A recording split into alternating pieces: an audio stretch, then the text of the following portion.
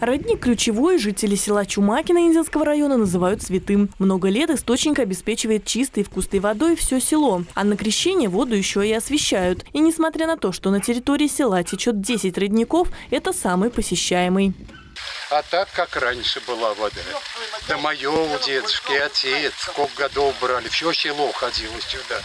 Коромыса, знаете, такое вот ведра эти, на коромыс таскали. Года четыре назад родник уже благоустраивали, ставили осиновый струб. Однако от осины пошел резкий запах, и жители стали жаловаться на вкус воды. Поэтому этим летом решено было сруб заменить, а заодно рабочие углубили и расчистили русло родника, установили бетонные кольца. Также благоустроят территорию вокруг. Это не единственный родник, который благоустраивают в районе. Наводят порядки и в селе Дракина.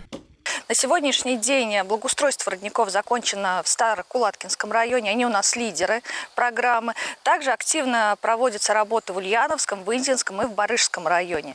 Кроме того, э, хотела бы обратиться к жителям Ульяновской области. Министерством на сегодняшний день э, начата работа по формированию списка родников, которые будут благоустроены в следующем 2023 году. А чтобы родник попал в список на благоустройство, жителям необходимо обратиться в районную администрацию. Оттуда руководство муниципалитета отправит заявку в Минприроды. В этом году продолжают улучшать и городские родники. В прошлом году сахарный родник, что в Виновской роще, частично благоустроили. Отремонтировали каптаж, восстановили лестницу и перила. В этом году восстанавливают мост, который соединяет парк и поселок Виновский.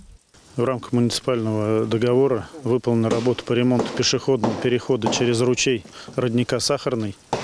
А, именно замена и ремонт э, опор, а, замена и ремонт балок, э, полная замена ходовой части и ремонт э, ограждения.